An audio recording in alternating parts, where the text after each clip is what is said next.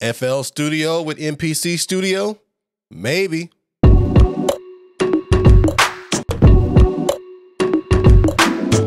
What's going on, everybody? It's your boy B Crowe and X-Producer-B coming to you with another video today about FL Studio and the MPC Studio MK2. Please remember to like this video, subscribe to this channel, and I've also launched support pages on Patreon and Buy Me a Coffee. You can log in there and subscribe. You'll get monthly benefits, and you also can help me to release these scripts for more software and for more hardware. Uh, your support is much greatly appreciated. Thank you to all of you that have already supported, and I'm looking for more of you guys to support. But today, we're talking about the MPC Studio with FL Studio. So let's go ahead and get into it. As most of you guys already know, I've released a script to get the MPC Studio MK2 to work with Ableton Live.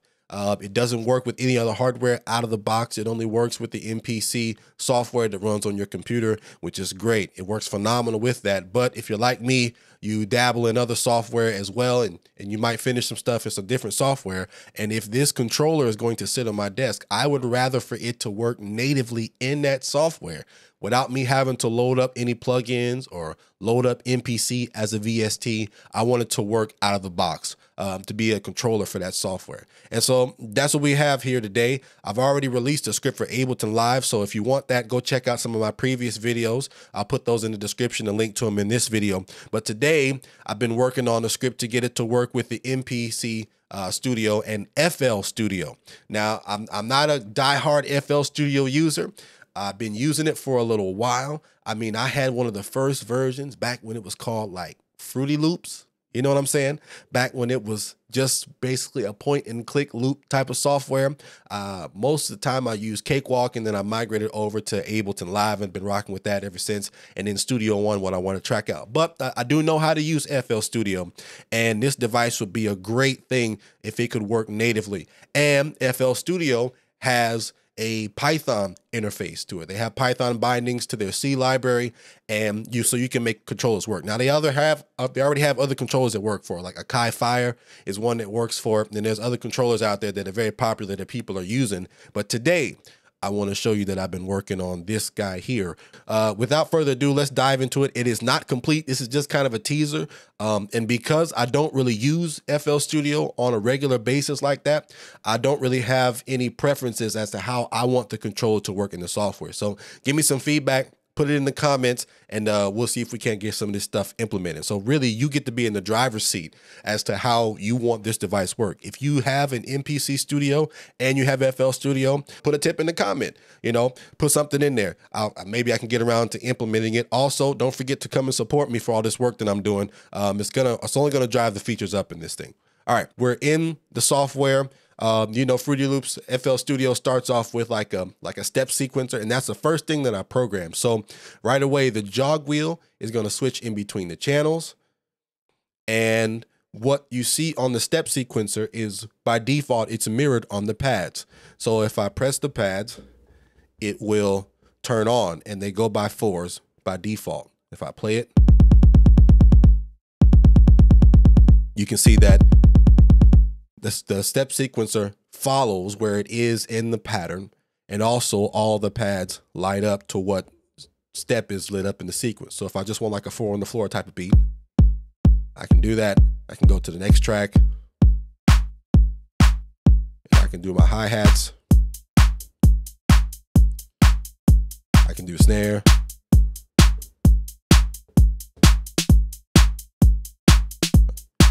Pretty cool. And all this is happening based off of that Python script that's, that's integrated in here. Not only that, I've gotten a way where I've got a, a modes on this side, just like in Ableton, how I put different modes on these four little uh, pad banks. I've got modes on the pad banks right here. And the second mode is to play. So if I want to play uh, like an 808, good night, that's too low. Let's try to increase it. There it is. In this mode I can play and I can shift between different octaves by using these two buttons right here. Right now this is a chromatic scale. I do have other scales programmed in here.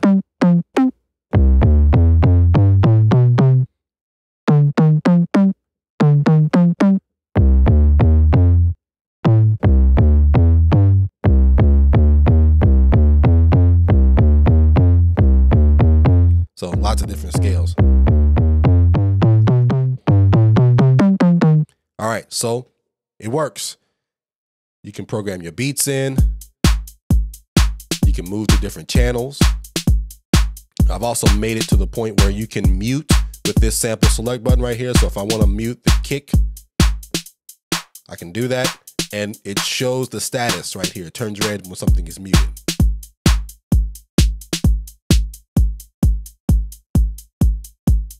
Pretty cool. I think I can even record in. Again, this is not done. I, I forget how much features I implemented. Yep, recording, audio, everything. Uh, we'll just do notes and automation. There you go. There it is. it's cool. All right, so everything is cool. You can even undo and it'll keep on going. Uh, you know, probably want to control that channel, that pattern length, though.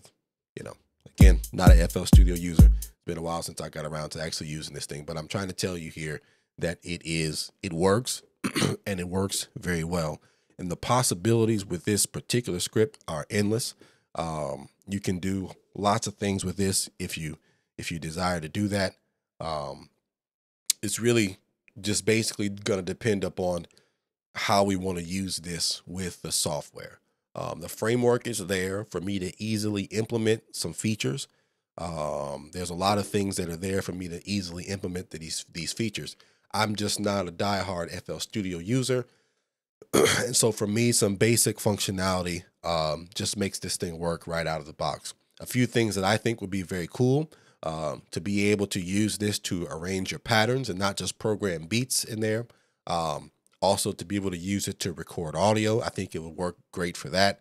Uh, but we're also very limited in this software because uh, FL Studio's Python implementation is not complete for every feature that they have in the program. Um, there's some there's some caveats I've noticed with their, for instance, their browser. I have a mode in here to where you can navigate the browser. So if you go to browse, you can navigate the browser and go through all of your samples. And if you find a sample that you want, you can just uh, click on it and open a new channel and it opens it in a new channel. Um, and then go back to track select mode. You can select that channel if you would, if you want to select it.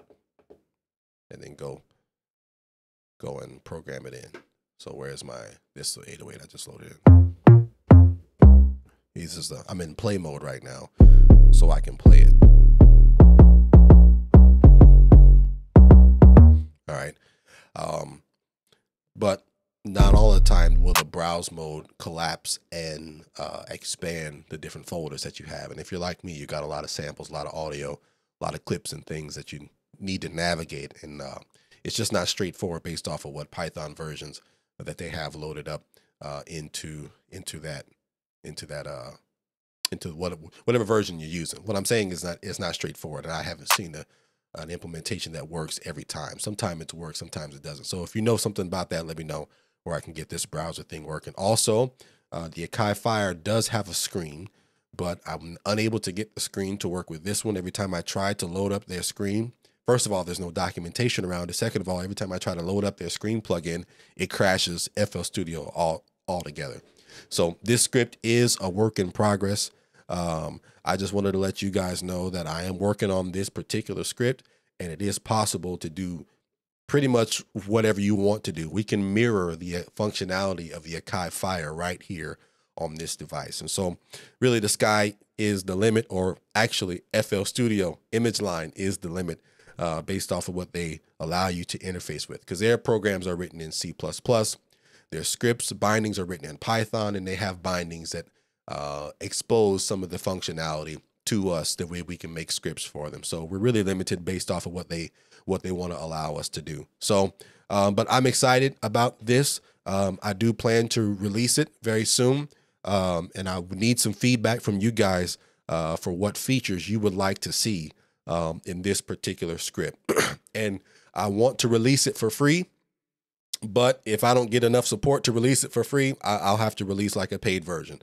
Um, so you guys make sure to like the video, subscribe to the channel, and also support me. You can go to my Patreon and become a monthly member. Um, if you do five dollars a month, it'll support this development. If you do, I think it's ten dollars a month.